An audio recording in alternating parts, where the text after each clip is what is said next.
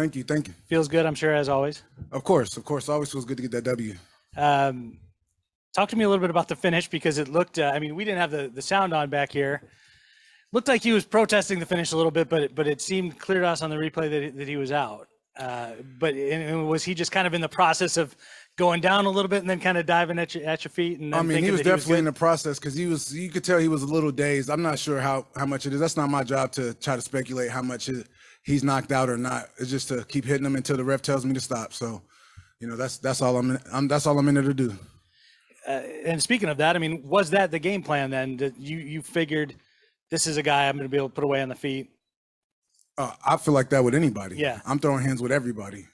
You were, uh, I mean, let's call it what it is. I mean, you were a massive favorite in the fight, so an outcome like that is is what's expected of you by quote unquote experts, right? I mean, do you look at that kind of stuff and do you feel any kind of pressure for, from things like that going in? What experts though? Because if we're talking about the guys that rank us and stuff, it it, it be seeming kind of a little shady or a little weird. You know, people move up and down when they haven't even fought or haven't fought a ranked opponent. So it's it's kind of weird. You know, no, Steve didn't even fight, and all of a sudden he was ranked in front of me.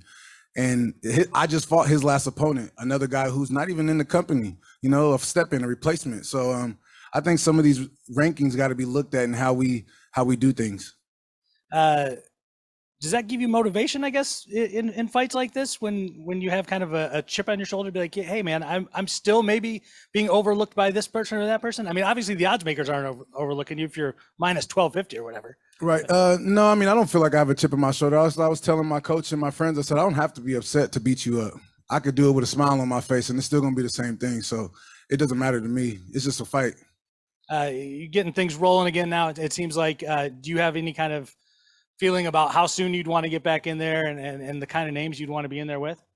ASAP, as soon as possible. Really, I mean, this is all I do. It's what I live for. So, I mean, whoever they want me to fight, I fight. I don't say no to anybody. So, you're one of those guys who's not going to drop any specific names and try and move yourself up the ladder faster. I want the loser of the next fight here. The only two guys that ever beat me, that's who I want to fight. I don't care about anybody else really, other than moving up and getting to the belt.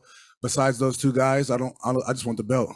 when you when you look at things like wanting to get the belt, do you put a time frame on it in your head? Do you say, all right, I've got X number of wins in a row. I want to be able to fight for the title in 12 months, in 14 months, in 18 months? No, that's not my job. My job is just to beat up whoever they put in front of me, and that'll take care of everything. Appreciate it, man. Thank you. Hey, what's up, Tyrell? Obviously, Team Tempe. I'm curious, during that fight, did you hear any instruction from Coach Trevor and anybody, and did that help with that finish? Stay patient. You know, slow down. Last fight, I was a little overzealous, going for the knockout too fast, and just focused on that a lot. So that was the main thing. If in my fight this time, you could tell at the beginning, I was kind of just looking, looking to see what he was going to do, see if he was going to come at me at all, and I was just being patient. You know, I wasn't going to rush it. I figured I was going to get the finish, so I wasn't in a rush. I'm curious, bringing that W back to downtown Phoenix, what does celebration look like, and will you be in training within the next week or so? Yeah, I'm not this year for me. I'm not taking any time off. I think um, like the last couple of years, I started taking a little bit of time off, and it, it, it doesn't seem to work with me. So uh, I'll probably take maybe a week and then get back right back in the gym and, and really start focusing on my ground game with jujitsu. I think me, my, my coach really wants me to focus on jujitsu and the clinch work. So just really start evolving my game a lot more. Congrats, champ. Thank you.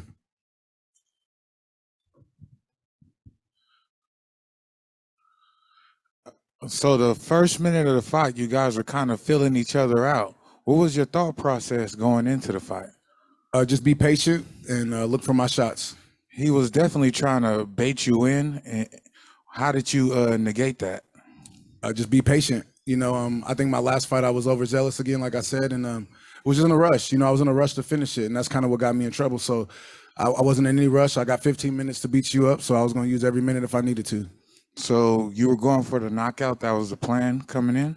from the gate, Is that always the plan? always.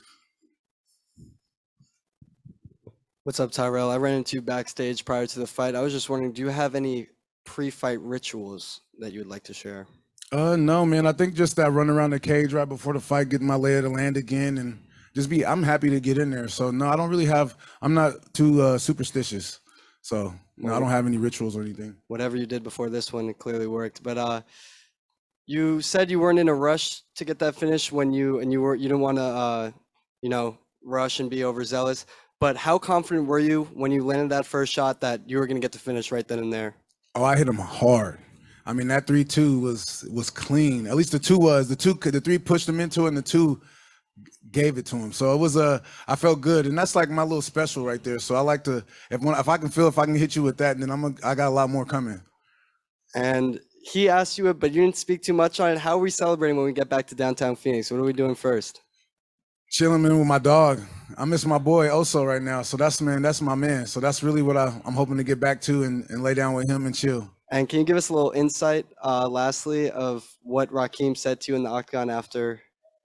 I wasn't knocked out. I mean, that's not my job to dictate if you're knocked out or not. You know, my job is to put you there. So if the ref says you to move or jump and do a jumping jack, you better move and do a jumping jack. Yeah. Thank you, man. Thank you. We will now open up to the chat. Nathan? Hey Tyrell, um, great fight, excellent fight. I know uh, in the pre-fight press conference you were saying that uh, you're able to see things a bit better. How clear were things for you tonight? Uh, very clear. You know, I was just making sure I took my time. I didn't want to force anything, reach or anything. So I was just being patient. You know, like I said, I was going to use all 15 minutes if I needed to. So it wasn't no rush. I knew the knockout would come. I just needed to pick my pick my shots.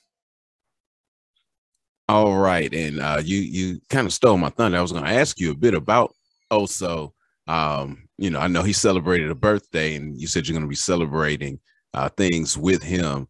Um, so what what does that look like? You uh, celebrating with Oso? Is that going to the, the pet store? Is it going to the dog park? What what what does that look like? chilling at home in the bed, man, or playing some fetch. Just I'm low key, man. So I, am a real home guy, homebody guy. All I do is go to the gym and chill with my dog. So that's really all I need, just the comfort of my home. Next question from Kobe. Hi, Tyrell. Kobe from Pro Sports Podcasters again. How's it going, buddy? It's going good. How you doing? Good, man. Good. So today was easy for you. Was that fun or was that work? It's always fun. Always, fun. I love my job. Yeah. Now you got a prediction for us between uh, Johnson and Vassell? Oh man, uh, me and my coach was kind of going back and forth on this. I kind of, I kind of think um, whoever gets on top first is gonna have more success because the other guy will get tired faster. So, I think whoever can impose their will and, and get on that top position is gonna win this fight. Okay, nice. And anything you worked on specifically since the loss to Vassell? Staying patient, picking my shots, um, just uh, staying relaxed. You know, I'm not always trying to look for a knockout. Work to the body, get to the legs, try to use everything. Nice, man. Looking forward to your next. Thank you. Last question from Ronald Smith. This is Ronald E. Smith. Ty- Tyrell, you brought up before how you said you don't really want to take time off. You want to go back to the gym and go back to the grind of, of growing and learning. Because you because you said that that was something that it didn't work for you. Can, can you go deeper on that? Why did you decide that that was something you needed to change up? Uh, just because it's too much time away from the sport. You know, you start uh just getting comfortable, and um, I feel like when I'm in the gym constantly working on my my craft, that I'm I'm getting better and better every day. And you don't just uh you just keep growing. You know, that's the main thing is don't stop. Thank you. That concludes our time. Thank you so much.